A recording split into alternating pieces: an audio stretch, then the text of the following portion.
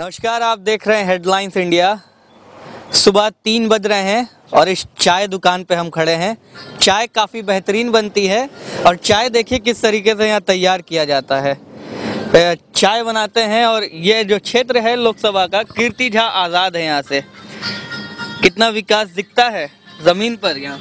बहुत अच्छा विकास है अभी यहाँ पे। अच्छा। हाँ। और बाकी बिहार का ही हिस्सा पड़ता है दरभंगा। नीतीश कुमार हैं सीएम यहाँ के शराब बंदी भी हुई थी यहाँ। कितना पास दिखा शराब बंदी बंद है शराब? कहाँ से? फिर भी लोग वक्त पी रहे हैं। चलो पी रहे हैं। हाँ।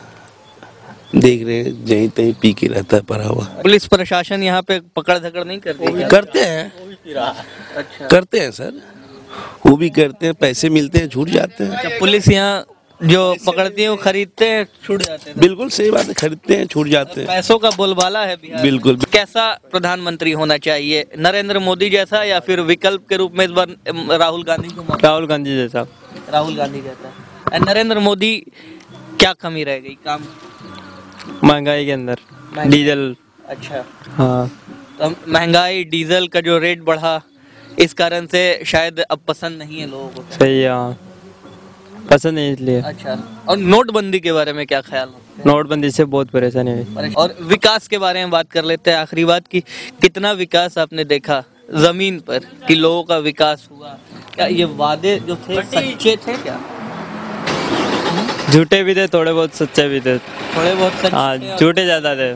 मेरे को तो राहुल गांधी। राहुल गांधी। हम्म। इनकी भी राहुल गांधी आपकी भी राहुल गांधी। हाँ। भाई हैं दोनों? हाँ दोनों भाई है। अच्छा विचार भी मिलते हैं। अ, क्यों क्यों मिलते हैं विचार? क्यों राहुल? इस बार क्या है महँगाई बहुत ज़्यादा बढ़ गई डीजल वगैरह सब कुछ। अच्छा। और सारा काम धंधा रुक गया हमारा। हम्म। और जो भी ये पैसे की किल्लत बहुत ज़्यादा दिक्कत आ गई हमारे को। हम्म।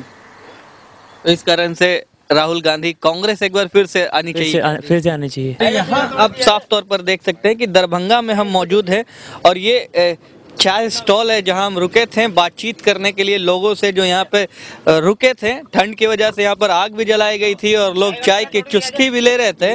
और चाय की चुस्की के साथ राजनीति सबसे ज़्यादा ज़रूरी हो जाती है। तो यहाँ की जनता ने तो बता दिया कि उन्हें देश का प्रधानमंत्री कौन चाहिए। आप भी अपनी राय ज़रूर दें। कैमरा पर्सन राज के साथ मैं तनवीर आलम हेडलाइंस इंडिया